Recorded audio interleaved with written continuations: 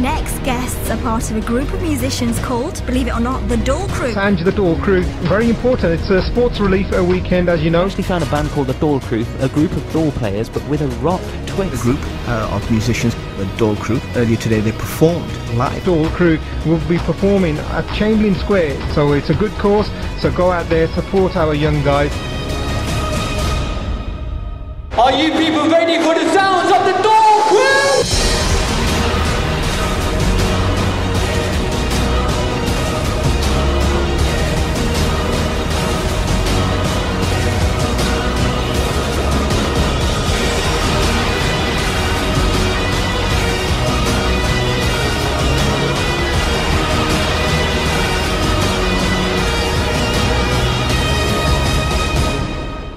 You guys having fun?